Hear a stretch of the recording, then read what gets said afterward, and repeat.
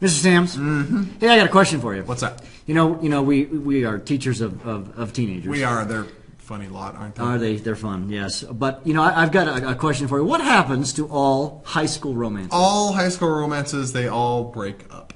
That's kind of negative, Mr. Sams. Well, I've seen two exceptions to that rule in my 10 years of teaching.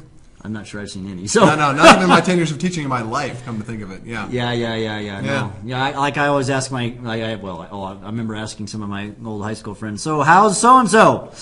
And of course, the answer is Right. no, no. Yep, I have one mm-hmm. friend that I went to school with who ended up marrying his high school girlfriend. Wow. Yeah. Yep, so one. all high school romances break up. They all so, do. folks, Yep. that romance that you're in right now, it's going to break up. Yeah. Just yeah. Sorry, Yes. we're being pessimists. Yes. But you know that actually applies to today's lesson, Mr. Sams. yeah. Because we're going to talk about how something always breaks up. Yep. All the time. Yes. Hundred percent. Yes, we call that dissociation. Dissociation. So actually, you know, when you break up with your girlfriend next time, You're dissociating. you're dissociating. Yes, so if we dissociate, we can just.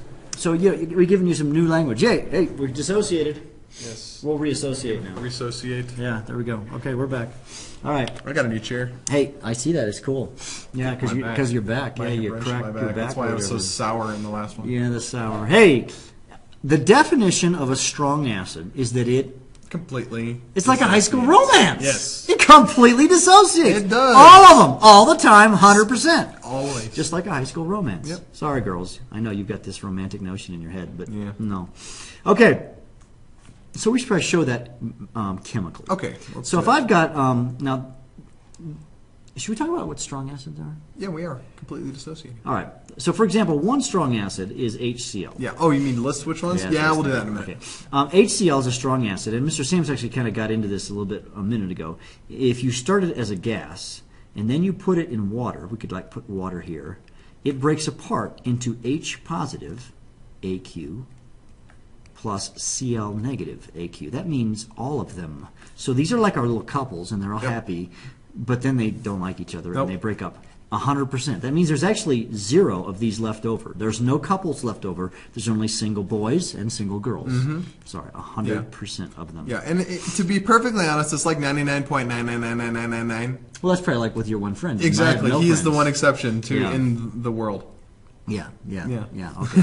so that's completely dissociate. Now, we should also talk about there's a list. I don't think we have a slide on this. Yeah. There's a list of strong acids and a list of strong bases. We'll talk about strong acids. So, how do you know if it's an acid is strong or weak? Well, You learn the six strong ones, and the rest are weak. yeah. So there's a list of six strong acids. Right. Now, this is not exhaustive list. There are some really bizarre, weird Yeah. ones out there, like fluoroantimonic acid, that we will never, ever, ever encounter in here. one. Oh yeah, they're called super acids. They're like Yeah. ridiculously No, I didn't know the name scary. of that one. I've heard of the super So- acids. Don't mess with those. Yeah, we're, we're not even going to go down that road in here. So we're going to learn six strong, and for the rest of our purposes, the rest are weak. So um, I already mentioned one HCl. of them, HCl. Another one that we've um, played around with in class is nitric acid. My personal favorite. I love that acid. Um, H2SO4. These are the, sort of the big three. These are the ones that every chemistry department has lots of. Yep. The next few they don't typically have Not a so lot much, of, yeah. but they're still strong acids. Yep. Uh, perchloric acid, HClO4. Yeah, you don't want perchlorates lying around. No. Those are Um, nasty. HBr and And HI. then the happy acid. Hi. Hello. So, um, so that's the six strong acids. Yep. Every other acid is weak. For our purposes. Yeah, for our purposes. There's yeah, the super acid thing. Yeah. Now, weak acid is is kind of like hopefully like marriages are supposed to be. Only a few of them break apart. Right. And so it only partially dissociates. Right, and kind of the general rule of thumb: if the strong acid is 100% dissociation, the weaks we say about 1%. Now Yeah. that's kind of a squishy, fuzzy number, but it gives you a ballpark. Because some some are actually one percent, some are five percent, some, Some are are half a percent. Yeah, yeah. But- so a, a typical weak acid is uh, acetic acid. Now while we're at that, acetic acid comes from acetate. Right. And if you call acetate, CHO two thirty two negative, right? C two H three O two negative one. That's Perfect. acetate. There it is. Going to mix them with the H positive, so that is H C two H three O two. Now watch what I do. I'm going to say AQ right here. because it dissolves in water. And I'm going to draw a double arrow. Hmm. I'll talk about that in a second, right? H positive, AQ. It looks just like the other reaction, um, except for the double arrow. The only thing you see different here is this double arrow. The double arrow indicates that the reaction is reversible. We call it an equilibrium um, arrow, and that means that only they, they kind of go back and forth. Yeah. And so this couple breaks up, and it makes this boy and this girl. But this boy and this girl, if you will, will turn around and make a couple. And usually you've got to have like let's say 98% if this is a 2% acid, and maybe 2% over here, something like that. And so 2% are singles, 98% are couples, if Right. you will. So that's the partially dissociated. Again, how do I know which acids are weak? Uh, it's the rest that are not the six. He's not one of the six. So acetic acid is not one of our list of six. So he is, he or they, whatever you want to call them, are a weak acid. So they partially dissociate. Right, and we're going to show you a little clip here in a minute, and we'll visually I think- demonstrate yeah. how this works. Yeah, I think so. Here's actually a, a picture of how that might work. Um, here is a strong acid before dissociation. Afterwards, notice um, there's no uh, purple line.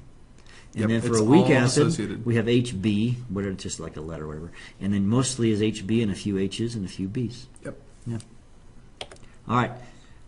What about a strong base? It's basically the same thing. Yeah. Strong base, complete dissociation. Strong acid, complete dissociation. Strong electrolyte that we learned in Unit Yeah. 9, complete dissociation. So 100%. Yeah, so it just so happens that um, strong acids and strong bases are also strong electrolytes. Yeah, in, yeah. I Like I just thought of something, but I'll sa- save it. So let's give an example of a strong base dissociant. So NaOH is a strong base, and we'll talk about the, how you know them. And it's typically a solid, actually. And when you drop it into water, it will it will dissolve. It will not just dissolve, but completely dissociate into sodiums plus hydroxides. Notice that this produces hydroxides, and that's how I also know it's a base. Um, so if you produce hydroxides, it's a base. These other ones, I don't think we said this, but if you go back to our acid one, notice how in this acetic acid I made the hydrogen ion. That's Yep. how I know it's an acid because it makes the hydrogen ion. This one produces the hydroxide. It completely dissociates. Now, how do I know which bases are strong? There's two. Yeah, Or- well, Well, we're going to deal Yeah. with two sodium hydroxide there's and only two strong acids: NaOH and potassium hydroxide. Right. Basically, the group 1 hydroxides are So strong. technically, if you really want to get excited here, Yeah. you could also conclude rubidium, cesium, and francium hydroxide. But these guys are so rare or and or very expensive that no one ever uses these. They'll only use these two right here. Um, one thing I should say about strong acids and strong bases both is the reason that there are strong acids and strong bases is because the bonds that hold them together are Weak. Weak. That sounds odd. They have a strong acid, but they're weak bonds. Well, if you think about it, since they completely dissociate, um, then they're held together by a weak bond. Well, think back to the high school romance. The bond that holds the boy to the girl is actually quite weak. Otherwise, it would last. Sorry, we're being pessimists. Um, and so, therefore, they don't last. Um, so, yeah. All right. And then the last